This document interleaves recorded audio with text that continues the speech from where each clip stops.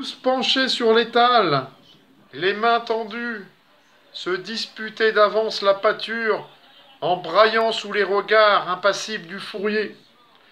Vous avez fini de gueuler, dit-il enfin. Je vais distribuer. Troisième escouade, celui-là. Quatrième escouade, cinquième. Il n'eut pas le temps d'achever, ni de désigner le quartier du bout de son bâton. Avec un rugissement, Sulfar s'était rué dans le groupe. Non, braillait-il, je marche pas. Vous voulez pas qu'on crève là l'escouade? Il profite que c'est un gars qui ne sait pas y faire pour nous englanter. Les autres le huèrent. Le fourrier voulut l'écarter, mais déchaîné, agitant les bras, il criait plus fort que tous. Je veux pas de ce morceau-là.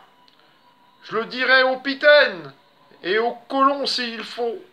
C'est toujours les mêmes qui sont qui se dèment. Je veux ma part. C'est à la cinquième qu'on est le plus. Vous n'êtes que onze. Ce n'est pas vrai. On se plaindra. Il n'y a que des os. Il poussait des cris, tour à tour, aigus et rauques. Terrifiants et plaintifs, repoussant les uns, bousculant les autres.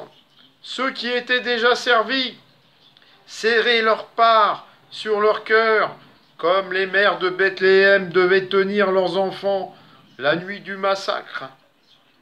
Heureusement, le fourrier lui tendit une tranche, n'importe laquelle, et il se tut.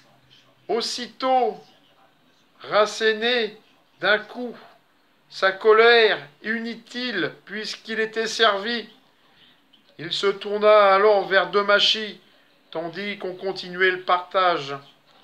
Tu comprends, lui dit-il amicalement. T'as de l'idée, mais tu gueules pas assez. Si tu veux être mieux servi que les autres, il faut gueuler, même sans savoir. C'est le seul moyen d'avoir ton compte. Gilbert de Machy l'écoutait sans répondre, amusé par ce grand gaillard à la barbe hérissée. Son silence attentif plut à Sulfard.